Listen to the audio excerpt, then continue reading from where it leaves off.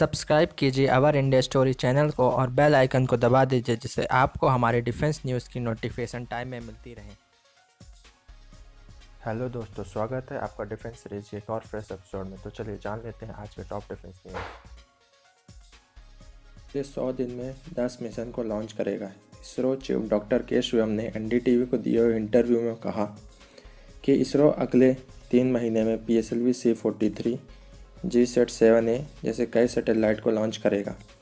हम आपको बता दें कि 14 नवंबर को इसरो ने G S L mark three से communication satellite GSAT twenty nine को लॉन्च किया, जिसकी मदद से पहाड़ी इलाकों में इंटरनेट प्रोवाइड किया जाएगा।